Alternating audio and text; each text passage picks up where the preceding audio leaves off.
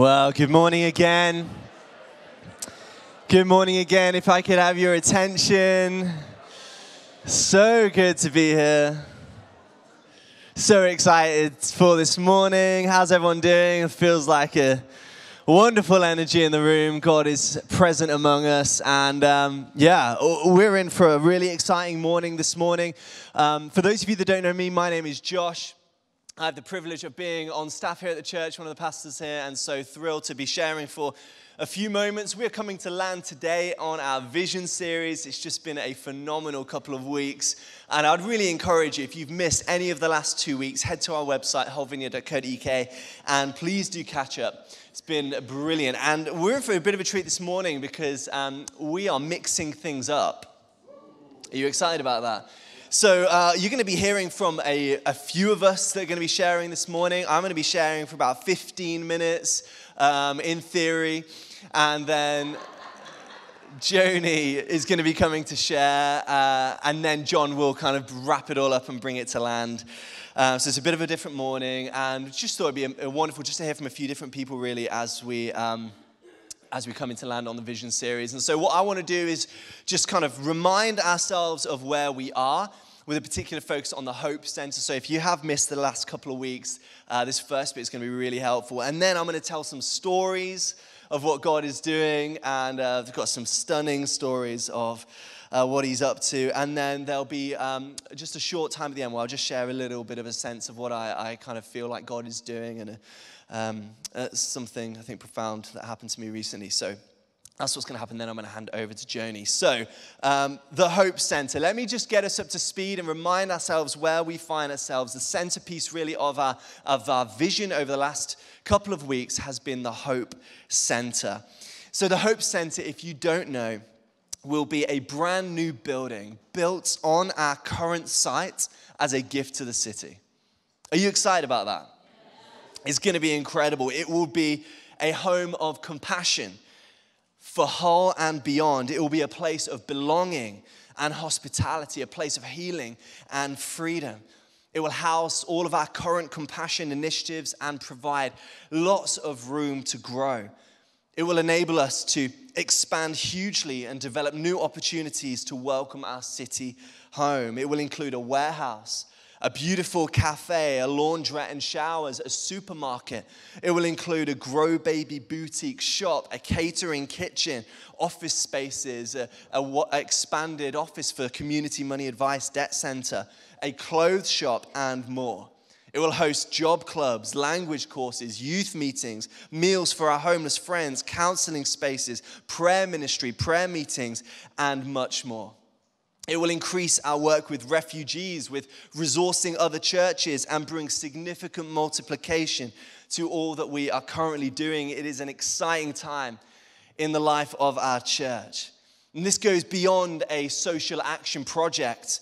This is a tangible, located space where heaven can invade earth, where the lost can find home, where the disillusioned can discover hope where the poor can receive support, where the chains of injustice will be broken and, and systems of injustice dismantled, where the hungry can get fed and the lonely welcomed into family. That is what we are doing, and it is really simply our next yes to the Lord, our next step of obedience to Him, and everyone is invited. You are all you are all on the balcony tuning in online. You are all invited to be part of this incredible story of what God is doing. If you've got a Bible, simply um, quickly just turn to Acts chapter 2. I want to read a few verses from uh, the beginning of the story of the early church. The words will come up on the screen. This is what it says, verse 42 They devoted themselves to the apostles' teaching and to fellowship, to the breaking of bread and to prayer. Everyone was filled with awe at the many wonders and signs performed by the apostles. All the believers were together and they had everything in common. They sold property and possessions to give to anyone who had need. So, this is the early church. This is the blueprint. This is the church as they get filled with the Holy Spirit, sent out on mission into the world. This is what this community, radical community of Jesus followers, looks like. This is the DNA, the blueprint of what it means to follow Jesus. And alongside prayer, and alongside studying the Bible and doing life together in community, and alongside expecting miracles to be happening as a regular thing, uh, expecting supernatural lives, did you notice that the remarkable, radical, open handed generosity marked the early church? This was a normal part of the Christian life. Notice what it said they sold property and possessions to give to those in need. This was part of the early church. They were just, nothing is our own, everything belongs to Jesus, and we want to make sure we give everything we have in order to bless and love those that are struggling. And it was the generosity which changed the lives of others. This is our heart as a church. To be a house whose generosity rewrites people's stories and brings hope to the city. And the Hope Center is a gift to our city. But how many of you know that everything worthwhile costs? So we believe an appropriate estimate to shoot for, to raise towards the building is 750,000. And John has unpacked a little bit of this over the last couple of weeks. But we are essentially asking us as the church, as we seek to follow Jesus, to stand in the gap for this, to give financially, to ask how we can play our parts, and to pray. And so next Sunday, is going to be, I believe, a significant moment in the life of our church. It is Giving Sunday. I believe it's a day which will go down in history as we step out with faith and generosity. It will be a powerful moment in the life of our community where everyone from the very youngest to the very oldest will have an opportunity to sow into the Hope Center, where parents get to model to their kids generosity and encourage their kids to join in on the story where students counterculturally give to play their part in something better.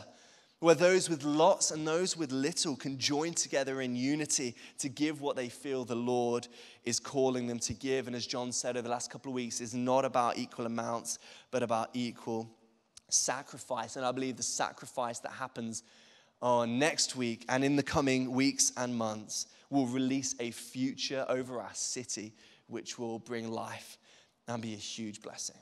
It's going to be amazing. It's going to be awesome. We're going to get all the kids in. It's going to be chaos. It's going to be fun. It's going to be brilliant. We're going to be worshiping and putting our pledges. We've got some beautiful big baskets, which are going to be at the front, and uh, it's going to be a, powerful, powerful moment. Um, one of my favorite films is the film Gladiator. And in the words of Maximus Decimus Meridius, he said, What we do in moments like this will echo into eternity. Sorry, that was a bit of a curveball. I regret putting that in there. So, next Sunday, guys, at both the 10 a.m. and the 6 p.m., we're going to be joining together for a monumental step of faith. And I'd encourage you to begin by praying ask God how much He would have you give. You can give an upfront gift uh, and, a, and or a pledge over 18 months, and next Sunday will be a celebration. So come ready. You'll notice there are pledge cards on your chairs. Take one, pray over it, bring it back filled in. But if you, if you, even if you forget it next week, we'll have loads available uh, next Sunday. And if you've kind of missed this, we've got loads of these brilliant brochures which cast a great vision for the Hope Center. Uh, fill in a few of the details as well for that. So that would be wonderful. Are you excited?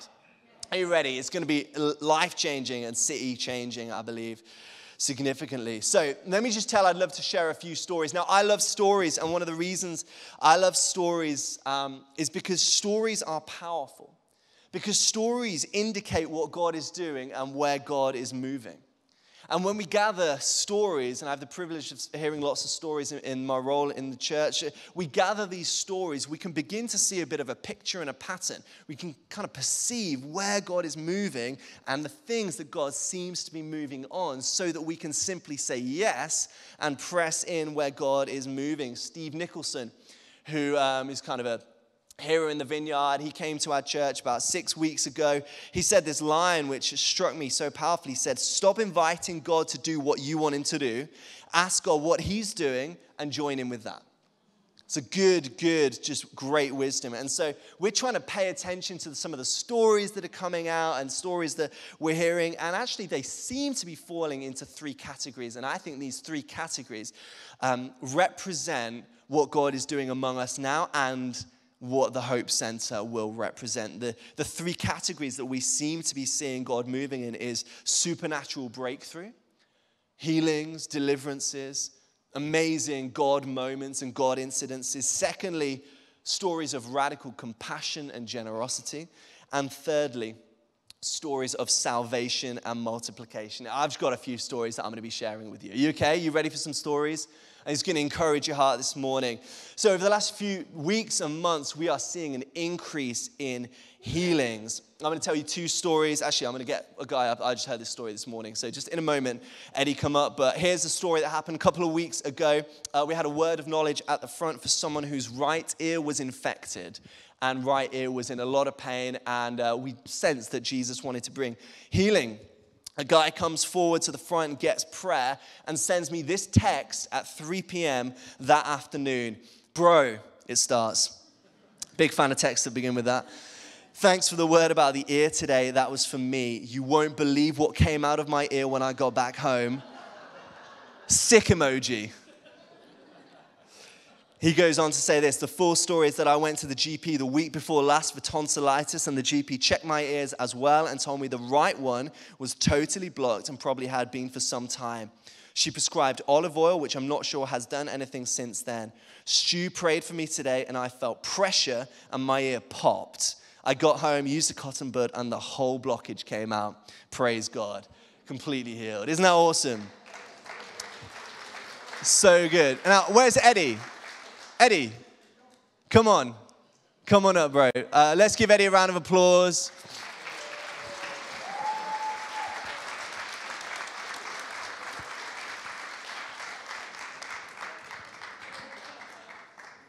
Just look at that. Eddie, uh, just tell us, uh, step into the light. Should be on. I can shout. There we go. Oh, Eddie, tell us what happened to you last week. It wasn't last week. It was oh. two weeks ago. Two weeks ago. Two weeks Sorry. ago. Get your facts right, Josh. All the other week, uh, fortnight ago, it was. I was in absolute agony. I couldn't even put my shoe on. I couldn't lift my foot over up about an inch. Mally will tell you it was absolute excruciating pain. I don't know whether I trapped a nerve, uh, a tendon, or whatever it is, but I couldn't lift my leg. I could stand on it, it didn't hurt. As soon as I tried to lift it, it was agony. Getting in the car was murder. Getting up at three or four times a night to go, well, too much information, really. too much information, but you know what it's like. I'm just glad that I, would lived in a bungalow because climbing up the stairs would have been murder. But the worst thing was, on my motorbike, you know how I like my motorbike, getting on that, I couldn't, I couldn't start it. I couldn't lift my leg up. Then, so I had to put it in gear with this, uh, then try and lift my leg up as I'm driving. And I found a zip there, so I grabbed all the zip. We cut the live stream, I feel like. And I'm, I'm trying to lift it. Honestly, incriminating evidence. It was agony. Jeff, you was there, weren't you? We, was, we went for a motorbike ride and I was in agony. Well, I came on, on the Sunday, still the same, and Josh said, There's somebody with a hip problem. I was the first out. I was, I was the first out. And Andy came up and prayed with me. And you know, I felt it go immediately. Wow. I couldn't have done that. I couldn't have put my shoes on. And awesome. not come back, not felt a twinge ever since. It's, the Lord's good, isn't he? Praise the Lord. But He does ask us to, to get others to pray because, because You're it's the body ministry, time, isn't it? The Lord bless you. Thank you so much. Give a round of applause. Stunning. All right. Let me just let me just move through some more stories. Uh, compassion. So we're seeing healings, and God is we're expecting that God uh, is going to continue to do that. In the area of compassion, we are seeing continued increase in favor and partnerships. Just a couple of weeks ago, we gave just under a thousand pounds of brand new clothes and shoes to refugees that we've established a relationship with in partnership with another local church. Um, these guys kind of moved over from Iraq and Syria and various other places into a hotel in North Ferriby, and we are blessing them. And so that has been amazing. seeing significant partnerships springing up, and that is our heart, as you know. I heard last week that Hull Truck Theatre are doing a play, a performance of a play called Mumsy about parenting and life and the struggles of that. And they are highlighting the incredible work that Grow Baby is doing as part of the performance. Isn't that awesome? And they've encouraged everyone who comes to the play on the day it's running to bring something to donate to Grow Baby. Wow, that's awesome. Yeah, you can round of applause that. And then finally, just a couple of stories about multiplication and salvation. We are seeing God do some just remarkable things all across the church, many ministries, uh, particularly in the area of kind of young families and. Um, Grow Baby is doing significant things. Stay and Play, I think uh, last week or the week before last, had 105 people, uh, like a parents, guardians, toddler group. 105. It's carnage. It's amazing. And so we are seeing significant um, uh, multiplication. And just a story I'd love to share. Um, I, have kind of shared a little bit of this story before, but um, it kind of came together on at the last Stay and Play. Hannah, my wife, came to me and said, Josh, our midwife is here at church at Stay and Play. And uh, we, we went down and um, had a chat and we, we heard the story from this midwife and uh, I'd kind of heard it second or third hand. It's powerful to hear it in person. But when our daughter was born, Ivy, two and a half years ago, we, our, our highest priority in that room was the presence of God. In, we had our own, we're blessed to have our own kind of suite and the birthing pool and we had worship music on and we just needed the presence of God in those moments, which are, um, many of you will know, just I mean, it's complicated. Birth is, is uh, I don't know how to describe it. It's indescribable, but uh, yeah, we, you need the presence of God. And so we worshiped lots, we prayed lots, and our two midwives in the room were not from a church background, they were not part of a church. Um, and, but there was some, it was a beautiful experience. And we invited our midwife to church, and both of them, and um, kind of didn't really hear anything back. Anyway, on Sunday, uh, last Wednesday, uh, we spoke to our midwife, and she told us this story. She said, The day, I have never forgot the day you guys gave, well, my wife gave birth to Ivy. I was present, not, not in that way. And um, she said, I've never forgotten it. And there was another birth of a sister of someone who comes to this church, uh, which was, I think, uh, equally powerful in the story. She said, I've never forgotten your story. And God used it in my life. Since then, I have been baptized in my local church. Since then, my husband, who would have never have come to church ever, has become a Christian. He's being baptized on Easter Sunday this year. And his mum is, I think, become a Christian as well. And she is just stunning. Whole household's coming to faith. And she was like, that moment when you're in your in, in that birthing room, just pressing into the presence of God in a moment of like, we need Jesus has had an eternal impact. And so it's so profound and life changing. And I want to encourage you guys, whatever you're doing, Jesus wants to use that to reach people every moment you find yourselves in. Isn't that awesome? Okay, finally, um, I want to just share a little bit of a, a, sense of what God's doing. I'm sorry, I'm running out, of, running over time. Um, a couple of weeks ago, uh, John Journey were on holiday, and uh, the, I felt like the Lord give me a, a dream. And I, have probably had two or three significant God dreams, and this was one of them. The first one was at university in my first year, and it kind of propelled me into ministry, and this was another one.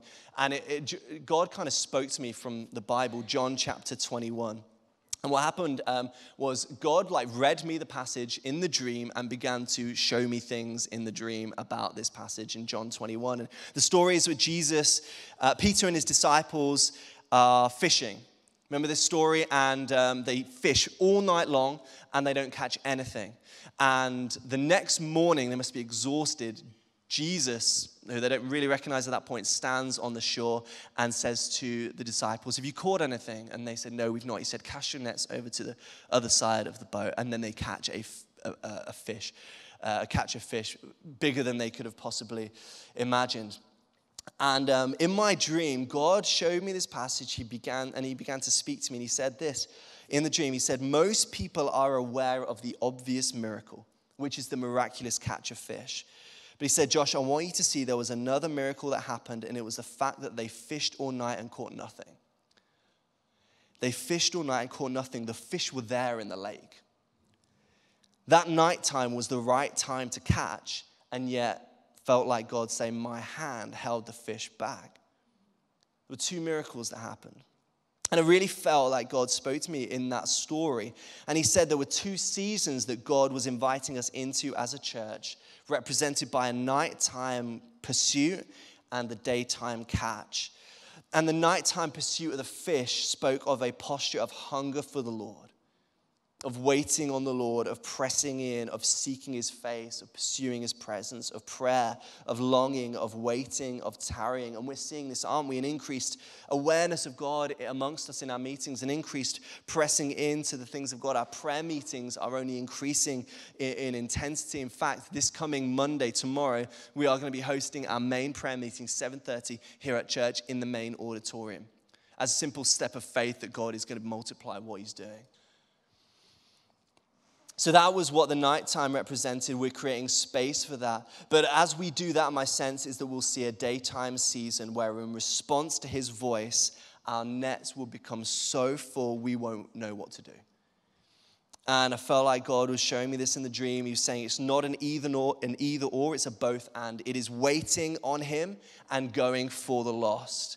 It's prayer for his kingdom to come, and it's a pursuit of those that don't know Jesus. It's his presence here and now, and it's his presence out there on the streets. So that is everything from me. Um, can we welcome Joni up to share her heart?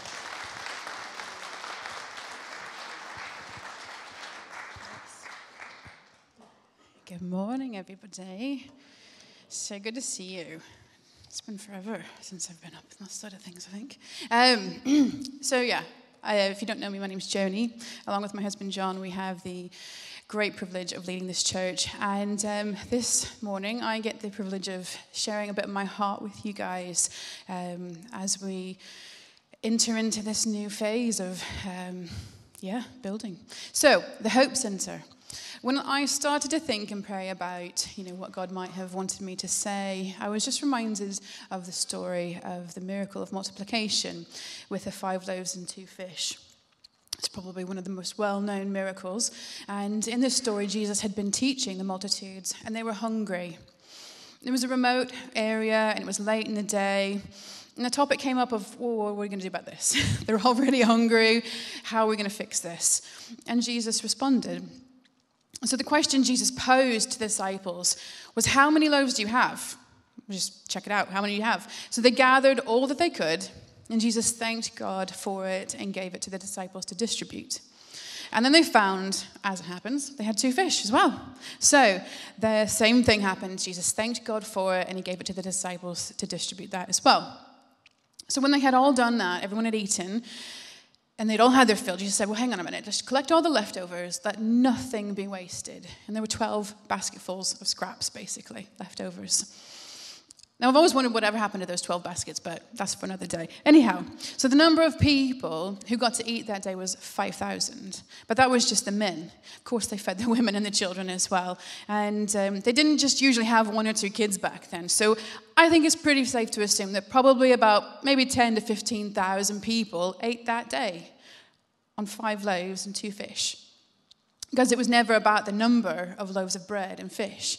And in Luke's gospel, Jesus tells the disciples, You give them something to eat. You see, the disciples had it in their mind that they're just going to send the crowds out, go sort yourselves out, and then we'll sort it out after, we'll come talk after. But, you know, Jesus' plan was actually, disciples, you're going to be the ones to help. So you help, you give. Now, we are at capacity, if you haven't noticed, in so many areas of our church life. And just as in your home, in the natural, with your homes at, at your, where you actually live, we, you know, when you uh, get to a capacity level, you, you do face a choice. So, are we going to move, get to a bigger house, or are we going to get creative with what we've already got? Now, I don't know about you, but John and I secretly love the feel, Phil and Kirsty's Love It or List It. It's the TV program. And, you know, with this house and with this home, we feel that the Lord has said that we're going to love it. We're not going to list it. And so we're going to build the extension. And it's going to be an extension of his love, an extension of his grace and of dignity and of hope to this city and beyond. And I feel that the Lord is asking us to seek him, not your bank manager, with what he would have you give what he would have you suggest maybe what, what could you do without maybe what could you sacrifice and you know i don't know maybe this is a good time right now for you to kind of reevaluate your finances look at your budgets again and maybe reevaluate the priorities and prayerfully choose where you actually spend your money and again, the leaders go first. That's just an expectation. And it's definitely something that John and I are actively doing right now in our own personal finances. So, my personal question for me, my own challenge to myself, is not what could I do with giving? Lord, what are you saying? What could I do with giving? But actually, I felt like he was saying, what could I do without? in order to be able to give. And I find myself reflecting on all that God has done in and through Hull Vineyard. Um, when this was just a small church plant, the prayers, the hopes, and dreams of all the people they hadn't yet come into fruition. And that was way before my time. And I'm so thankful for that. But, you know, that we would have hundreds and hundreds of people coming to meet with Jesus each week was just a dream that would yet to be realized. And, you know, we want to dare to dream dreams that are far beyond the limitations of our lifetime some of the little ones around now will be able to look back and say, Oh, I remember when that was being built. Um, they'll be able to look back, just as we've done with our previous buildings where we've been at the Hope Center. We are building our legacy here. And I think about the Hope Center and I, get excited. Uh, it's just brimming with possibilities and just knowing that it will only continue and keep growing. This will be a grace outpost with rooms to meet even more needs of the people of this city and beyond. Rooms to facilitate growth so that as we continue to grow, we can accommodate people with excellence so that they can too come to meet Jesus. How nice is our new cafe? Like, it's just such a blessing to be able to say to a friend, hey, come, have a coffee with me. And just, you know, being really confident that they will receive a warm welcome with fantastic cafe where they can, we can comfortably meet up. And it's a great cup of coffee. And I'm just so proud that this is my church, this is my family, and this is our home. So the time is now. This isn't some far off dream, and the next 18 months, although it sounds like a lot, will go by so quickly.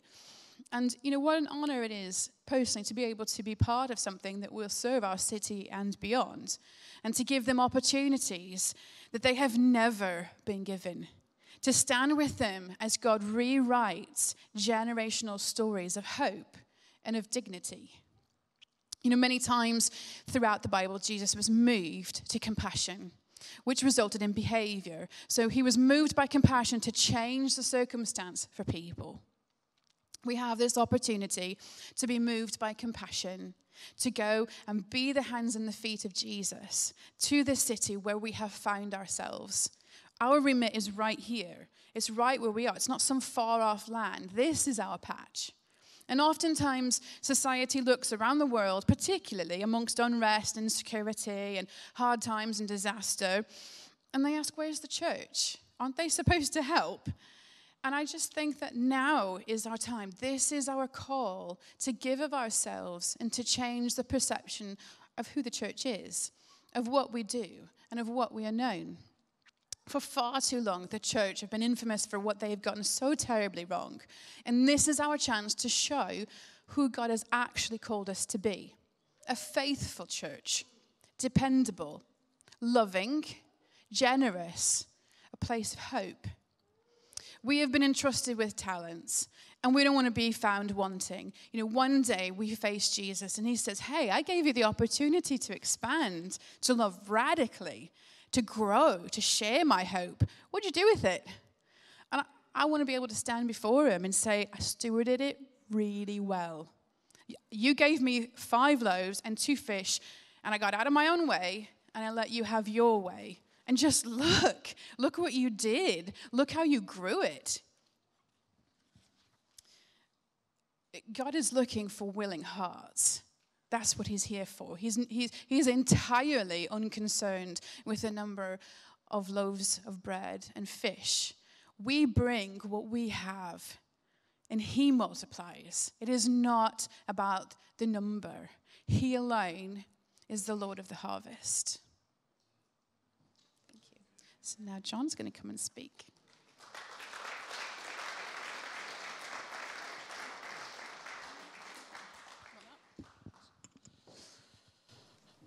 I just want to spend a couple of minutes just wrapping things up, and then we're going to get in some some prayer.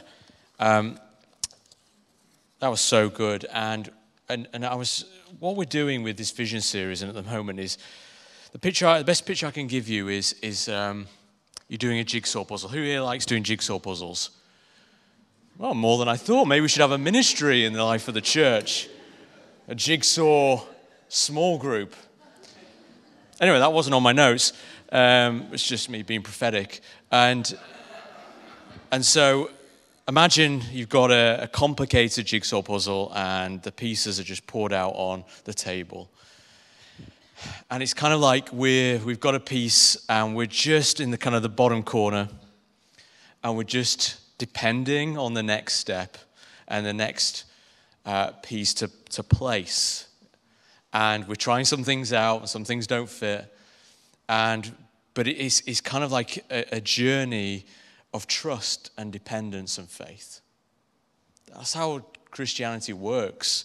The Word of God is a, a lamp unto our feet before it's a light unto our path. We'd much prefer it to be a light unto our path so we could work out where we're going.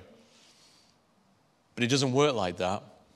It's one step at a time. It's left foot, right foot, left foot, right foot, just allowing the lamp of His word and the lamp of His voice to guide us. And we're just placing the pieces of this puzzle. God sees the box lid, He sees the final picture. It's all in His hands. He's the sovereign God, He is the Lord of the harvest, and yet He's calling us, His church, just to build. Build the church one step at a time. The gates of hell will not prevail against it. And so, as we're building, we're listening and we're leaning in and we're saying, Lord, speak. And Josh shared with me that dream, and I went to that text in John 21. I felt like it was such a crucial word for us that I wanted to just um, reiterate a little bit what Josh said, but maybe from a different angle. And I think the principle of this passage is really important and crucial for us in this next season. Here are these disciples who um, went out together an inconvenient time at night to fish and they don't catch anything. And then they listen to an instruction, they listen to a word, and they change strategy. And the nets go at the other side of the boat, and lo and behold, they catch so much fish that they can't contain it. So they go from nothing to everything based on an instruction. And it's interesting, after they do that and they obey the word, something happens. It says that they recognized Jesus and they said that it is the Lord. Mission, and we shared our heart last week in terms of mission, in terms of a culture of mission in life for the church, seeing people regularly come to faith, healed, set free.